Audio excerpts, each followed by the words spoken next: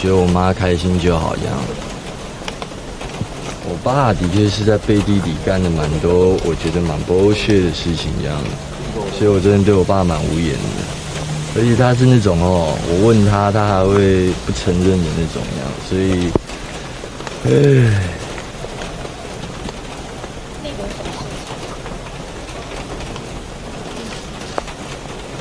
例如偷偷把我的，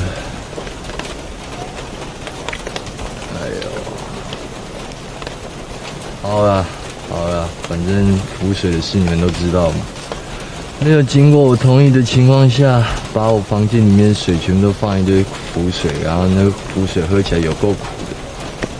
然后我去问他有没有这件事情，都当做没有。这只是其中一件而已，但是其实还有很多事情我不太想讲，毕竟他还是我爸。对爸，拜托不要偷鸡摸狗干这种事情。你有种，你好歹你直接跟我说嘛。对，要干嘛？可以说好啊，爸，我问你，我拼了，我把喝。对，这没办法，刚来他对吧？新二代孙安佐日前在泰国护麻后，闯入民宅露臀部。被屋主报警驱赶，消息五月三十一号传回台湾，引起大众关注。对此，孙安佐的母亲狄英受访称，阿奶把孙安佐带去泰国，帮四海帮子轩做翻译，却移情别恋，让儿子失控脱序。狄英解释，男女分手正常，但阿奶住孙家五年，内裤是狄英洗的，却一声不响就搬走，只能怪儿子没用。截稿前，阿奶尚未对此回应。明星夫妻档。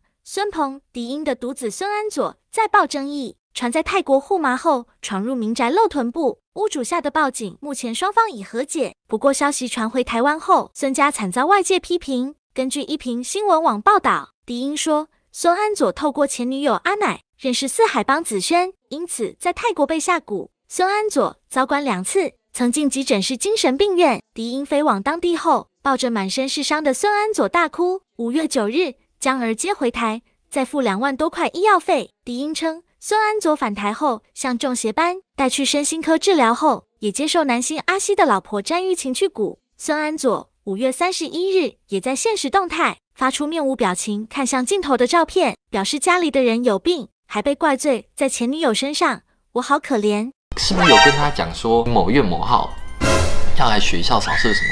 然后我就说有啊，可是。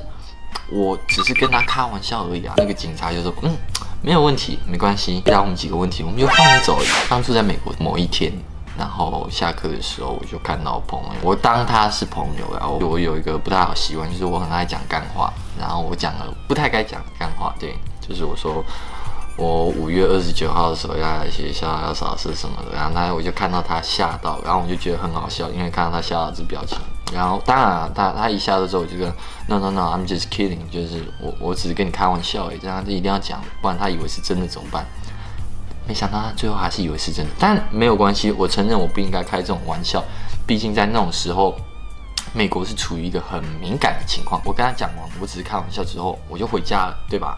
然后他马上就跑去跟老师讲说，就是他说他要去学校扫视，他们好像当天就报警吧。于是我隔天我正常的到学校，然后一进教室的时候，我就发现校长就进来门里面，然后就说，Son Edward here right now。但那时候我没想太多，所以我就好，我就跟他出去嘛，对不对？然后边走的路上，他就问我说，哎，你是不是？有在用学校的那个置物柜，就是我说，呃，我没有用置物柜，因为我都喜欢把东西全部都塞到自己包包里面。总之，校长后来就带我去办公室，办公室进去之后，然后一个小房间门打开，天哪，你知道那小房间里面是什么吗？大概有五六个警察，然后全部都武装起来，然后手上拿枪这样。我说，Oh shit，what is going on？你觉得你们你们是不是搞错了什么？不过没关系，我们就坐下来谈。所以他马上就开门见山问我说：“你是不是有跟不不不，是不是有跟他讲说某月某号要来学校扫射什么？”然后我就说：“有啊，可是我只是跟他开玩笑而已啊。”很小的时候，爸妈都叫我说做人一定要诚实。然后那个警察就说：“嗯，没有问题，没关系，我们都知道你大概不是认真的，所以你只要填完这个笔录，回答我们几个问题，我们就放你走，也许你还可以吃个午餐呢，对不对？我就说好，所以我就很老实地把笔录什么全部都做好，反正我全部笔录都做好，我也老实的承认，我笔录一做好当下，他马上就说。OK，我们现在以恐吓威胁罪逮捕你。我相信任何人听到这句话的时候，大家就哈，那个说，不好意思，可以，请你把你的手放你后面，我们要把你上铐这样。我就，嗯，OK。其实我那个时候是有点懵逼的状态，就是我不知道为什么。是现在这个情况呀，我就这样子被带走。当初为什么美国会把我看得那么严重？就是当然也是因为我家里面的东西嘛，什么子弹什么的。我觉得那就只是一个我的兴趣而已，就是毕竟我很喜欢运动设计之类的。但我相信，任何人有我这种兴趣，刚好又说了这种干话，刚好又全部都被记录下来的话，我想你应该很难不把它联想成是一个有神经病或准备要干大事。但后来我也没事，我就对我被关了几个月，然后。但我后来还是回家了。台湾的人看到新闻媒体上报说，哦，他家有一千六百发子弹，哦，他说这句话，哇！如果我是看新闻的人，我也会觉得酸主可能真的要发疯。毕竟一般人就不认识我，又不知道我是个什么样的。两年的侦查终于结束，结果就是检察官想以未遂制造枪械起诉我。我在美国的时候，从来都没有被起诉未遂制造枪械。不过就像我刚刚讲的，不管事情发生什么，我都会接受的。当然，我也希望结果是好的，没有人希望自己被抓去关。不过这就要看法官是怎么决定哦。频道饮料店学业当然照样继续做，所以大家也不用特别担心，或者是担心我说什么啊，安卓会不会颓废沮丧什么的？相信我，我不会。OK，你能做的事情只有把你现在该做的事情做得更好。OK。有一小段是我有被安全带勒一样掐到我。眼泪都爆泪，然后微血管直接爆掉。大家好，今天很特别，就是来大家体验一下什么叫做中部最有名的都市传说——咿呀沟。咿呀沟，牙记，恰林狗狗来着。天哪，我真的见到咿呀沟哎！我觉得灰熊哦，它是一个。他也设定上，他也算是一个 YouTuber 啊。老实说，就跟我一样。虽然他在电影里面，他有的粉丝数比我还多，比较成功一点。我个人觉得他是一个，他会为了自己想要得到的东西做任何事样子。而且通常他不太会听别人讲什么样，他觉得对的事情他就会做，就是算是一个很有成功者的特质吧。但有些时候又有点太偏激，导致之后惹上一大堆麻烦。所以我在演他的时候，我也觉得，嗯。演的真的还是，他很像我，在某些方面，我觉得他很像我，但他又更偏执一点，更神经质一点那样。如何揣摩这个角色的这个个性？其实就是角色功课要先做好，你要先非常清楚知道这个角色定位在哪里，你上戏的时候就很轻松的演出来这样。拜托你不要救救华我求求你了。你们知影讲这个帅厉害？那么今个上照，唔知会害死我侪人。老实说，我我我连会上大荧幕这种事情我都没有想过，这样，就是突然就一个机会来，就 OK，那就上大荧幕喽。我觉得恐怖片还不错啊，就是因为你以前都是在台下看的，这样你都不知道他就是实际上是怎么样。我觉得实际拍下，我觉得演电影是一件蛮酷的一件事情。那爸妈在拍戏之前会不会给你戏剧上面的一些指导？那也不会，因为第一个我演的角色跟他们演过的角色不一样。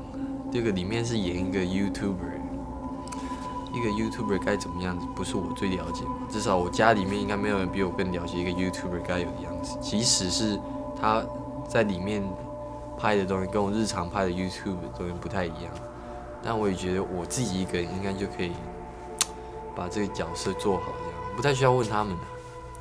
那爸妈会去现场盯场之类的吗？啊，一两次而已吧，有去看好像，那也不会特别说什么，因为我觉得我不太喜欢我在做事情的时候，让别人在旁边讲一大堆东西，这样，我觉得我自己能做得好就 OK 了。那就您自己本身而言，你会怕鬼吗？我觉得我不会，并不是说我不相信鬼这种东西，然后我觉得可能有吧，只是我第一个我没有遇过。第二个，我觉得没有看过的东西就没有必要自己吓自己啊。戏的这个环境当中，那个氛围，你会觉得不舒服或是害怕之类的吗？